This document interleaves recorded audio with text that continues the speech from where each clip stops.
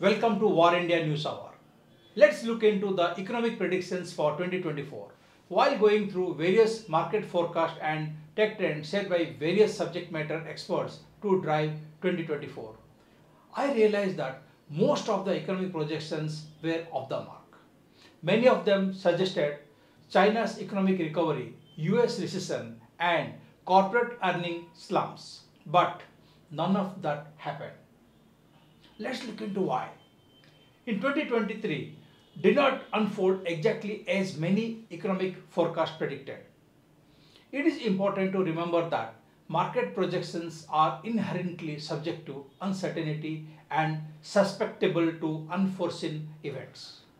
Here is a quick breakdown of how something did and didn't pan out. Look into China's economic recovery. While China's recovery wasn't as strong as initially predicted due to factors like lockdowns and a property market slowdown, it didn't experience a significant collapse as some feared. It is GDP growth is still estimated to be around 4.4% for 2023, which is below pre-pandemic levels but positive nonetheless. At the same time, just look into US recession.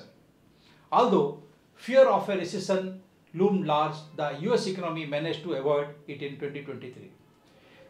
Let's look into the GDP part. GDP growth slowed down, coming in at around 2.4% but remained positive. The key factors like resilient consumer spending and strong labor market contributed to this outcome.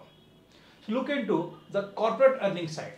While some industries and companies face challenges, overall corporate earnings remained relatively strong in 2023. Many businesses adapted to the changing economic environment and found ways to maintain profitability. So when you see the interest rate side, so interest rate remained at 22 years high, impacting borrowing and cost and economic activity. This was primarily driven by central banks trying to curb inflation. The Magnificent Seven, those are Apple, Amazon, Microsoft, Alphabet, Meta, Netflix, and Tesla, defied economic headwinds and achieved record profitability in 2023. This is attributed to factors like strong digital adoption, cloud computing growth, and resilient consumer demand for their products and services. So, there are resilience on consumer spending despite inflationary pressure and economic uncertainty consumer spending remained surprisingly robust in 2023 and this fueled economic growth and supported business, particularly in sectors like retail and e-commerce. Secondly, subdued oil prices. Contrary to some predictions, oil prices remained lower than expected due to factors like global recession fears and increased supply from major producers. This provided some relief to consumers and business facing rising energy costs. The most interesting is US regional bank meltdown. The financial difficulties and closures of several smaller US regional banks raised concerns about the health of the banking sector. This highlighted potential vulnerabilities in the financial system and the need for continued monitoring. With all the above factors, consumer spending remained high and oil prices were subdued. We also witnessed meltdown of US regional banks that shock investor sentiments. There was a spectacular collapse of FTX and cryptocurrency exchange.